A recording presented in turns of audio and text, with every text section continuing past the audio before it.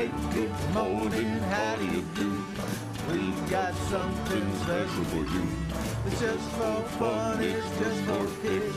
It's time for Pacific Touching. All righty, Patrick. All right, uh, number six. These shoes, let me tell you something, are a vibe. Ooh.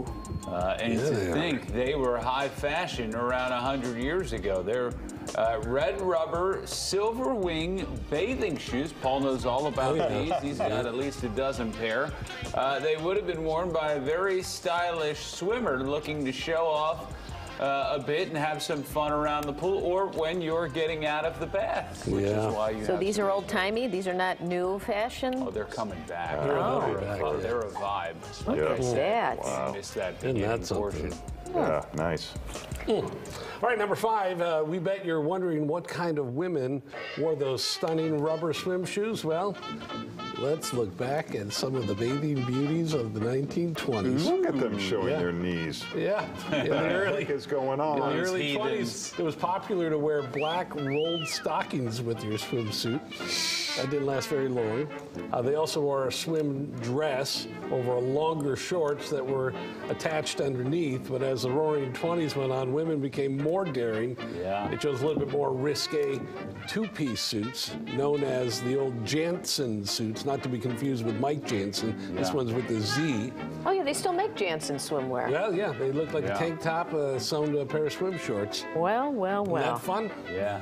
Wow. That's It's so the way you funny do it that there. you think, you know, 80 years ago when guys were Yeah. at the bar. Yeah. like, Did you see the set of knees on Nancy at the beach the other day? Boy, oh boy. Yeah. Filed those away in the old mental Rolodex. Those knees. They're the bee's knees, if you know what I'm talking Oh, what boy. do I those knees? All right, number four. We can only dream about sitting on a beach right now, so let's get back to reality. Snow will be here soon enough. So you might as well be ready when it comes. Why not try an electric shovel? Hmm. Motorized shovels can clear a driveway quickly and you don't have to do the heavy lifting. There are lots of options, but there are a few things to know.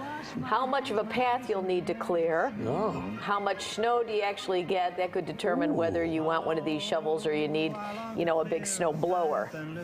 You know, the heavy duty stuff. So who, well, that looks just like a mini snow blower. Is that Yeah. the, is that what I it don't know. Yeah, I'm not George. familiar with this. So does it? I wonder if that works well. You know, that's a question for Mr. Fix It. Yeah. Yeah. You know, he's always talking about the big old snow blowers. Yeah. Yeah, those are wonderful. All right, number three, here's another holiday hack for you. Try the Drew Barrymore rule. She has two daughters, and she doesn't buy them presents for Christmas.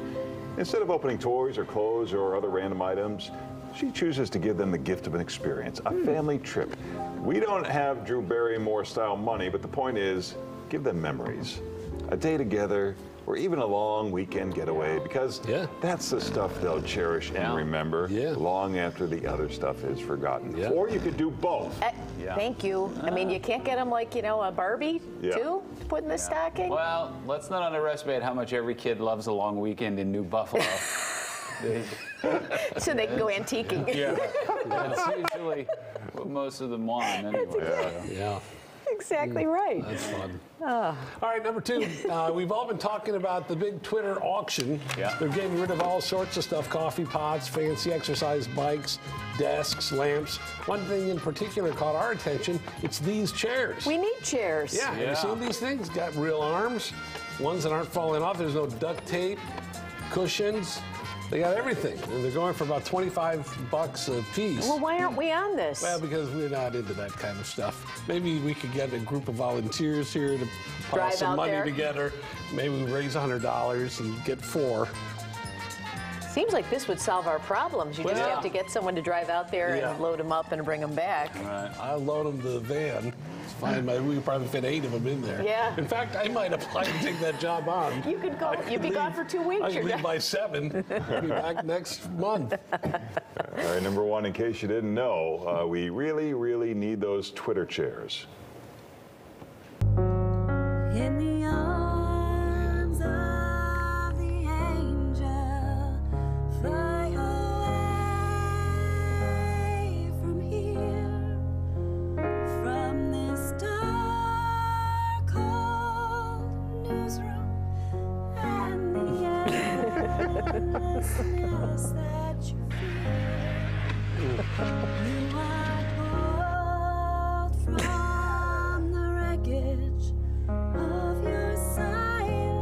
still sitting in there. Are they still? Oh, yeah.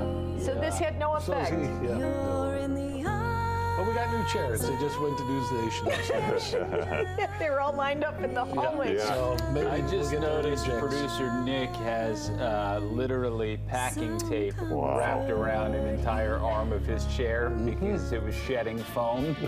So, Yeah.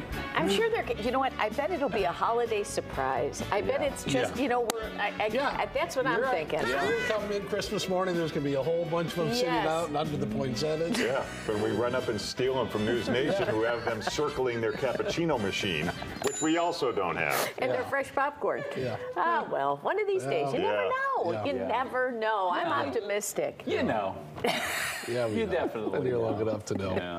Nothing's changing here. Oh, well. right, there you are. That was the six at six. Yeah. Uh,